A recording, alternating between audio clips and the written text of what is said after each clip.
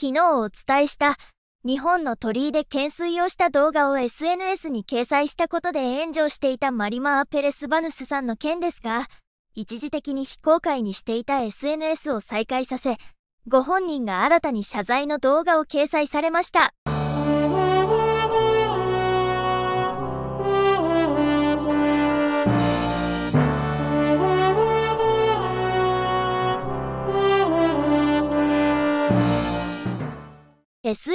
には謝罪の動画とともに以下のメッセージが掲載されていました。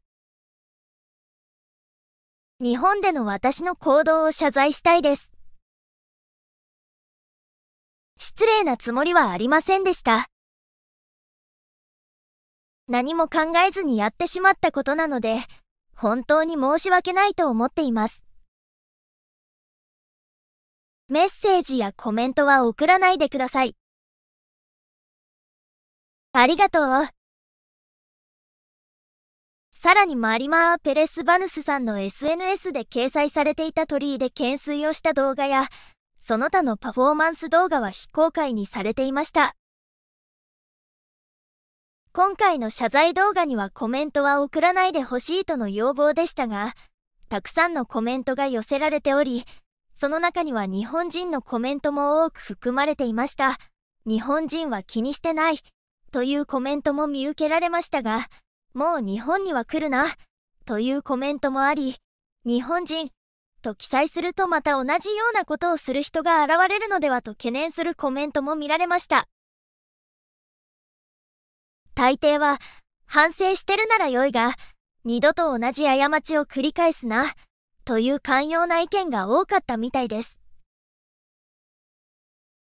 日本人以外のコメントも届けられていましたのでご紹介します。海外の反応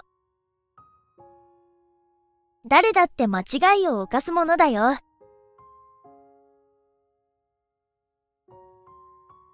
そんなに厳しくしなくてもいいだろう。彼女は間違いを犯して、それを反省してるんだ。人は間違えるもので、許すことが大切だよ。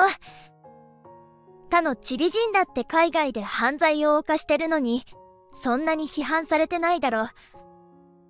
この件ではみんな批判する権利があるみたいに振る舞ってるけど、石を投げて手を隠すのは簡単だよね。どこにサポートがあるんだ？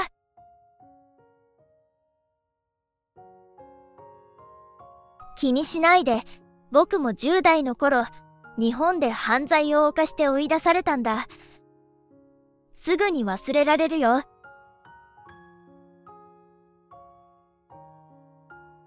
誰だって間違えることがあるからね。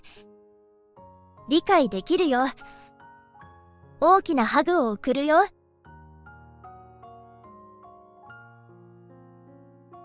全く知らない国や文化で、その場所が神聖だとは知らずに、ただ逆立ちをしただけの女の子なんだろう。かわいそうだね。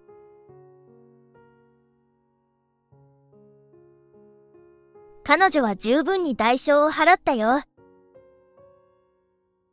はっきりしたことは、彼女がチリ人ではないってことだよね。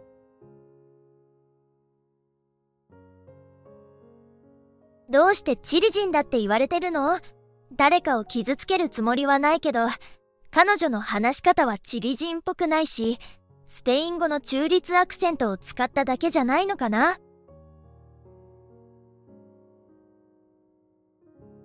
スペイン語の中立アクセントなんて存在しないよ。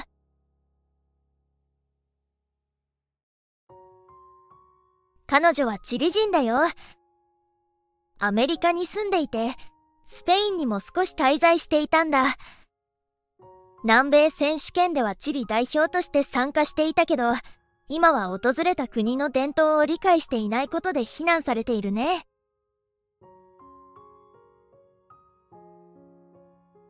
彼女は鳥居を運動器具として使って面白い行動だと投稿したんだ。宗教的な場所の神聖さを無視した行動だったよ。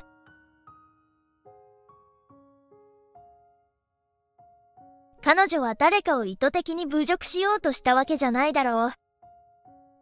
ただ無意識だったんだよ。だからこそ彼女は謝罪したんだ。もし神を侮辱したならそれは彼女と神の間の問題だ。私たちと彼女の問題じゃないよ。神は慈悲深いと皆知ってるしあなたも同じように慈悲深くあるべきだと思うよ。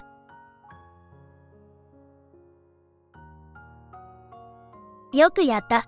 ヘイターたちは無視しなさい。謝らなくていいよ。君は普通じゃないことをしただけでそれが全ての人にとって普通になればいいんだ。僕はその行動が美しいと思ったよ。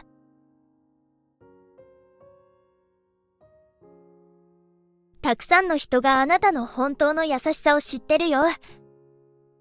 たくさんの支持者がいるから気にしないでね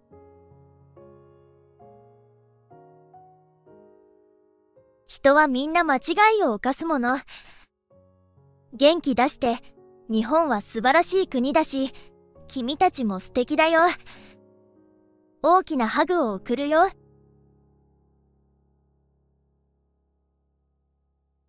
日本の人たちは過敏すぎるよ。彼女は知らなかったし、ちゃんと謝罪もしたんだから、それでいいじゃないか。みんな泣き止んで、先に進むべきだよ。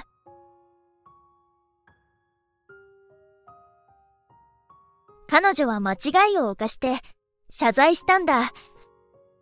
もうこの話は終わりだよ。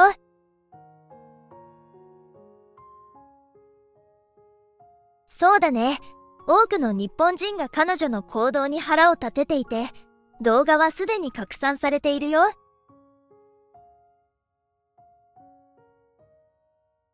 日本人のことは理解できないな。アメリカ人が2つの原爆を落としたのに、日本は今もアメリカに従っているじゃないか。落ち着いてよ。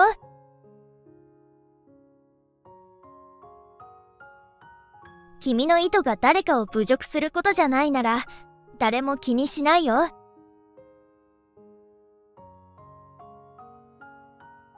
彼女が神を侮辱するつもりでやったのか知らなかったのかそれが重要じゃない？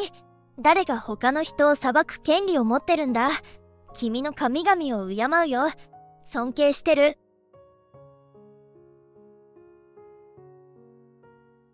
考えてみたら彼女はスポーツ選手の本能で行動してしまっただけだと思うよ誰かを怒らせるつもりはなかったんだろうし誰でも間違えることはある。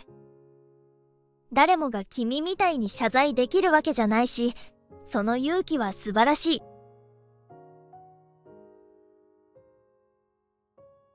謝ってよかったね。私たちは人間だし、間違いを犯すのは当たり前だから。英語でも言ってみて、素敵な子。コメントは以上になります。文化の違いや視点の違いが明確に現れた事例でしたね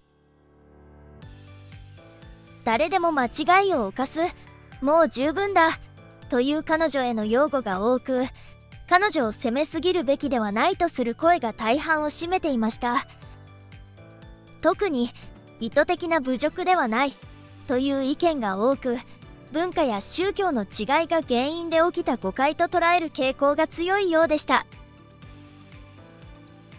この件は文化的な感受性の欠如が原因で炎上した典型的なケースですが双方の意見には共通して彼女が反省しているかどうかが重要視されており今後同じ過ちが繰り返されないことが求められています。